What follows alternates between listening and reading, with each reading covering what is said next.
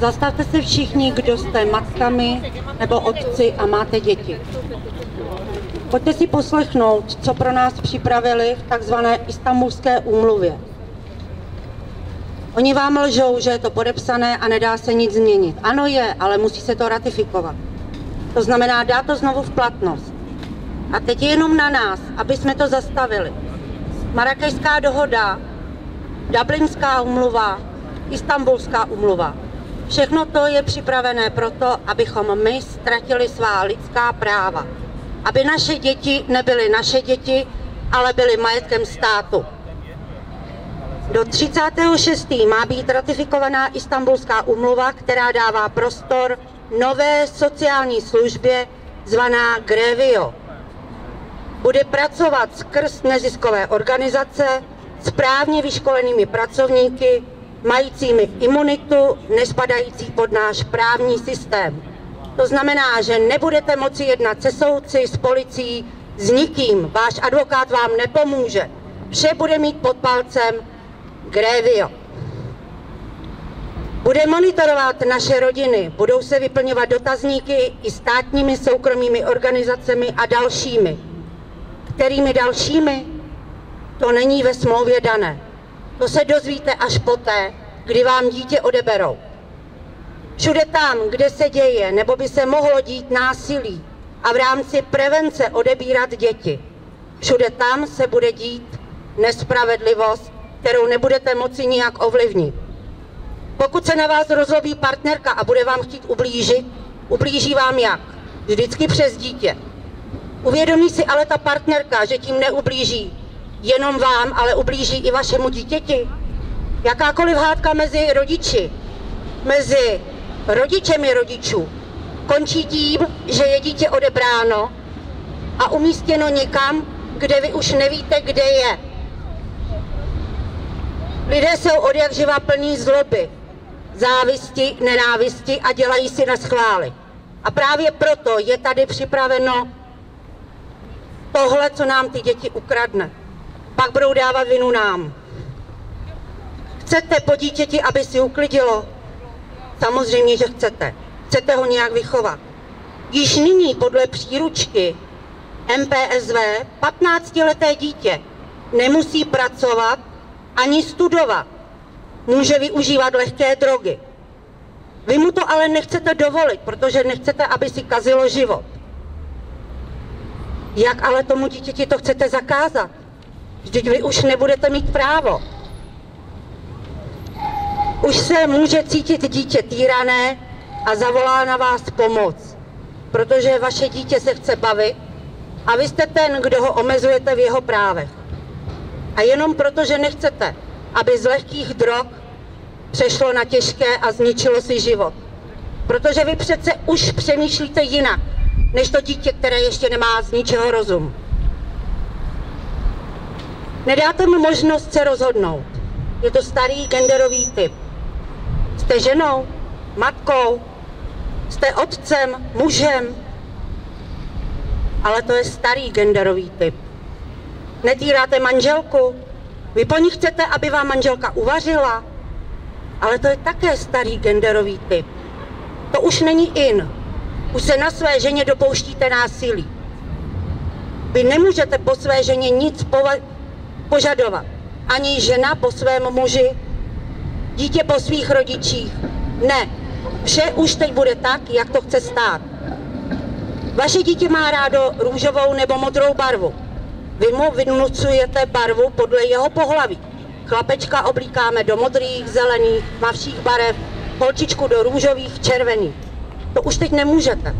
Teď už když chlapeček si chce obléknout punčocháčky, tak mu obléknete punčocháčky, protože to prostě ten chlapeček chce. Ono si přeci může vybrat. Vy si můžete říci, čím chcete být.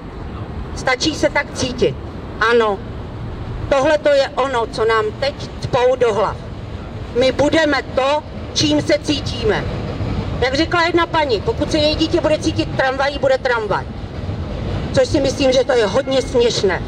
Dnes už není nic neobvyklé, abyste si mohli vzít zvíře, svůj vlastní obraz v zrcadle. Podívejte se na YouTube. Tam už tyhle zvrácenosti dávno jsou. A nyní se to tlačí k nám. Od prvního sedmí už prostě můžete být tím, čím chcete být. Už nemůžete své děti vychovávat, aby z nich byli řádní a slušní občané. Dnes už se musíte dívat na to, jak si vaše dítě ničí život a nesmíte zasáhnout. Protože když zasáhnete, bráníte mu v jeho lidských právech. V rámci prevence násilí vám odeberou děti, ale nejedno, všechny. Kam? Do pěstounských rodin, které již od 1. 2018 dostali přidána o 50% více na jedno dítě. 12 tisíc. Na dvě děti je to 18 tisíc. Máte tolik peněz pro své děti? Pěstouni, to bude nový biznis. Budou se vzájemně udávat, budou se odebírat děti, jenom aby lidé mohli mít peníze. Tak jako vznikly chobotnice neziskovek, které vytvořily falešné násilí, podporu menšin, přitom to není vůbec potřeba, tak stejně tak budou nyní vznikat pěstouni. Bude to nová forma podnikání. Už nebude návratu.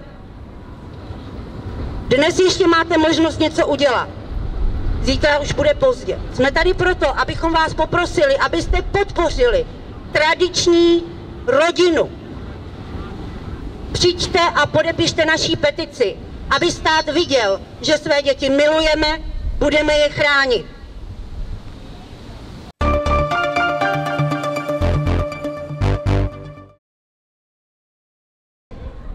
Istanbulská úmluva je zbytečný nesmysl podporující gender ideologii. Přijde vám narození dalšího britského prince jako dobrá zpráva? Před chvilkou jsem o tom mluvil.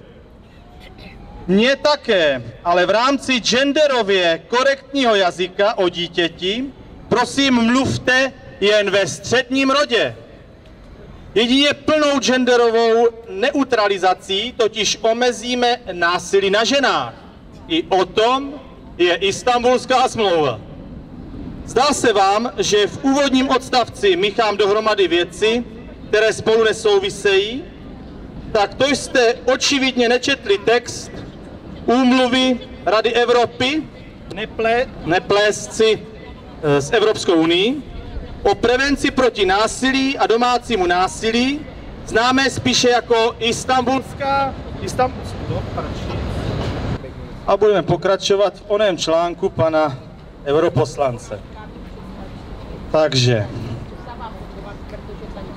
násilí na ženách všeobecně, ve skutečnosti ale v ní skryto tolik nesmyslů, propagandou genderových ideologií, jako v málo jiném dokumentu. Přes veliký odpor lidovců byla úmluva díky podpoře z ANO 2011 a ČSSD za Českou republiku podepsána.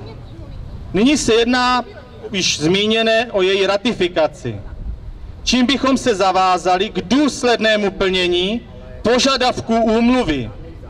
Jsme striktně proti a po vzoru Slovenska žádám odmítnutí této ratifikace.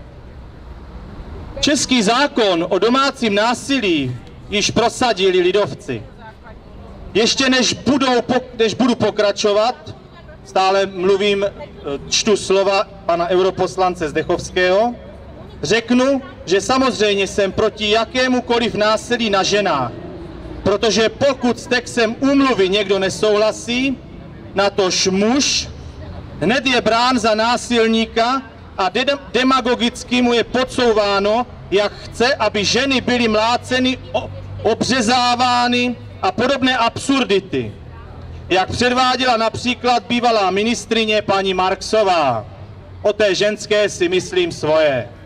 To jsou moje slova. Při podepisování textu byli to ale přitom právě lidovci, kdo přišel s českým zákonem proti násilí. Tento zákon je z roku 2004 a je to zákon číslo 135 lomeno 2006 sbírky na ochranu před domácím násilím. A už jenom z tohohle hlediska je další smlouva o domácím násilí naprostým nesmyslem. Tím se dostává prvnímu důvodu, proč jsem proti ratifikaci úmluvy. Pro Českou republiku je smlouva vyloženě nadbytečná. Potřebné zákony na potírání domácího násilí už tu dávno máme. Téma dávno není tabu. Ženy vědí, kam se mohou obrátit o pomoc a reálně ji také dostávají. Pan poslanec dále mluví. Neříkám, že vše je dokonalé, ale rozhodně to nevyřeší ratifikace úmluvy, kterou bychom jednoduše museli akceptovat od A až do Z, bez možnosti diskuze o sporných částech. Istanbulská umluva přináší jediné. Další podporu gender neziskovek a indokr, indoktrinalizaci ve školství. Druhým důvodem mého odmítání Istanbulské umluvy je, že násilí prezentuje jako typicky mužskou záležitost. Jako by absolutně neexistovalo násilí žen na mužích. Dokument České televize z Lásky nenávist 2 přitom dokázal, že i ženy mohou být agresory a naopak tu potřebují specifické zastání muži. Toto istambulská smlouva neřeší. V tomto bodě je úmluva velmi snadno zneužitelná a navíc podmiňuje odvod nemalých finančních prostředků ze státního rozpočtu do genderového neziskového sektoru. A zase jsme u toho. Neziskovky opět čerpají finance ze státního rozpočtu, které by mohly být využity na naprosto jiné a daleko potřebnější účely v naší zemi. Máme málo svých problémů, které nejsou řešeny, ať je to v sociální sféře, v důchodové sféře, ve zdravotnictví a tak dále a tak dále. Budeme podporovat neziskové organizace a my je vlastně ani nemáme šanci nepodporovat, protože toto jde mimo nás, naprosto mimo nás. O tom rozhodují politici a politické strany. Takže dále. A kdyby jen to, Rada Evropy, co pak? Máme tady paní a chtěla bych říct příběh na. No, dobře. Jo. Ma, takže ještě něco málo přečtu a máme tady osobní svědectví jedné paní. A já jí milé rád ten mikrofon předám. Nicméně, aby pan Zdechovský takzvaně dokázal svoje slova, tvrzení, nabídne tady, nabízí tady další tři citace z Istanbulské úmluvy. A myslí si, že dojdeme k podobnému závěru jako on. Takže právě ty finance.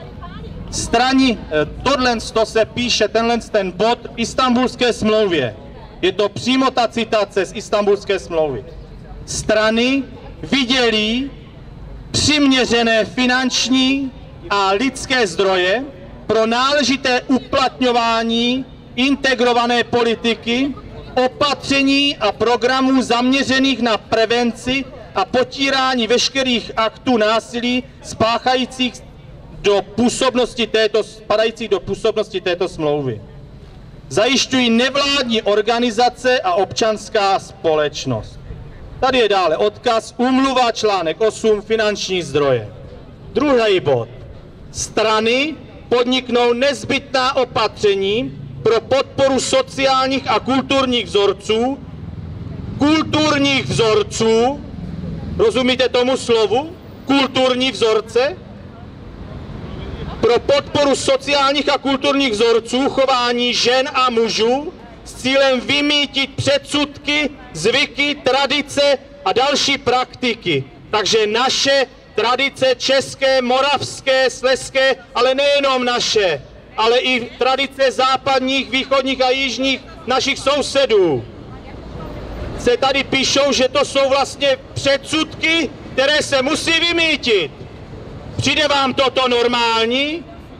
A koukám, že asi ano, protože jenom procházíme, koukáme, popijíme drinky, nestaráme se, nezajímáme se. Takže zvyky, tradice a další praktiky, jež jsou založeny na předpokladu podřízenosti ženy anebo stereotypním, stereotypním pojímáním rolí žen a mužů. Pane Bože, snad je daná snad ta role ženy v naší společnosti. Snad je daná ta role muže v naší společnosti. Je potřeba ještě, aby nám tohle to někdo vykládal, předkládal nebo nějakou úmluvou nám vnucoval jejich nápady a jejich názory. Za třetí, tam, kde to bude vhodné, podniknou strany, a tím se myslí naše parlamentní strany, kroky k tomu, aby ve formálních osnovách na všech úrovních vzdělávání existoval materiál k tématům, jako je rovnoprávnost žen a mužů, nestereotyp, nestereotypní genderové role, vzájemný respekt, nenásilné řešení konfliktů v mezilidských vztazích, genderově podmíněné násilí vůči ženám a právo na osobní integritu a to vše uspůsobeno rozvíjícím se schopnostem žáků. Takže tyhle ty neskutečné sračky ještě se budou samozřejmě dále rozšiřovat do našeho školství. Tyhle ty body, které jsem vám přečetl, jsou body z úmluvy z istambulské, istambulské smlouvy. A jestliže opravdu nechápeme tyhle ty problémy a budeme k tomu lhostejní, jednoho krásného dne tohle budeme tady mít, aniž bychom s tím jakkoliv my občané souhlasili. Protože to prosadí naši zákonní zástupci námi zvolení. Kde je ta paní?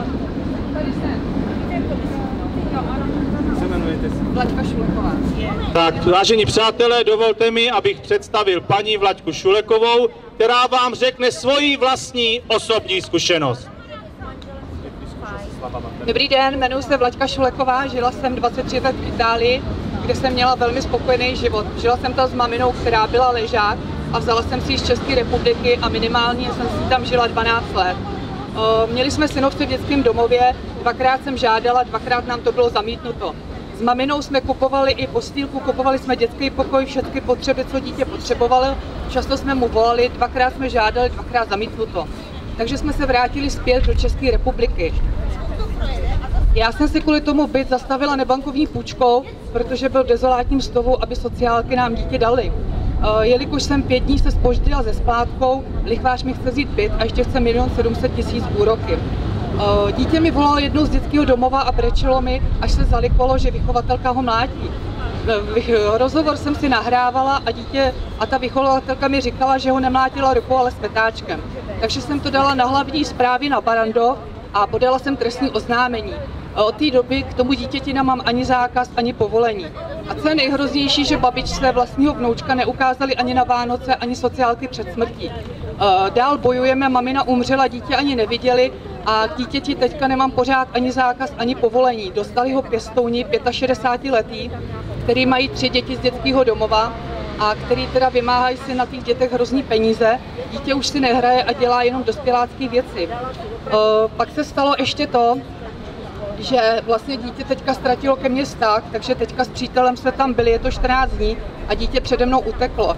A já si říkám, kam ten svět spěje, jak to říkala mamina, to je jako když hit. To je jako když Hitler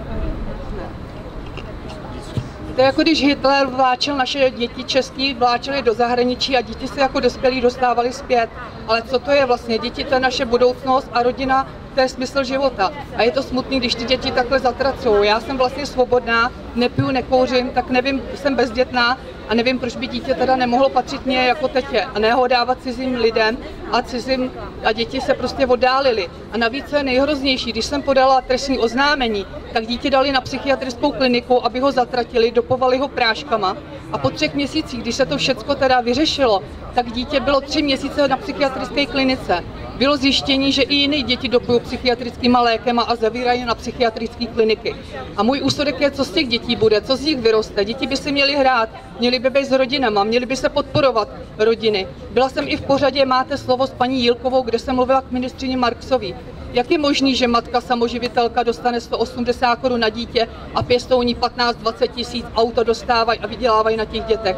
Neříkám, když třeba dítě někdo nemá, tak neříkám, aby se dítě nevzali, klobouk dolů předtím. A když má rodinu, měla by se především podpořit biologická rodina. A v tom je ta síla. Děkuji.